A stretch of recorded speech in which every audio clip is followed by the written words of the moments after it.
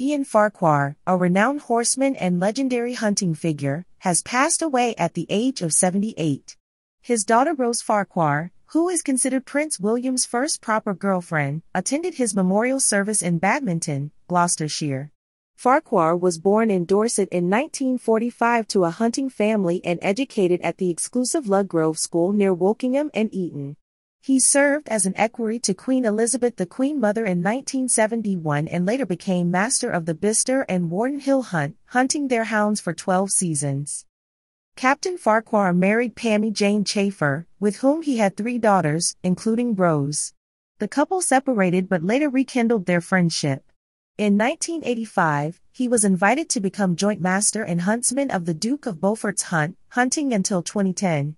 Farquhar was a renowned breeder of foxhounds, a vice chairman of the Masters of Foxhounds Association, and a known supporter of the Countryside Alliance. An inquest at Salisbury on March 20 revealed that Captain Farquhar died from postural asphyxia, a condition where the way a person is positioned prevents them from breathing properly.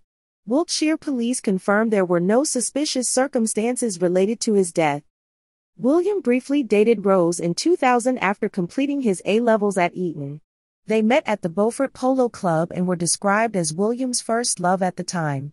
However, their relationship was brief, and he then met Kate at St. Andrews University. Rose Farquhar, the youngest daughter of Captain Ian Farquhar, is generally considered the prince's first serious girlfriend.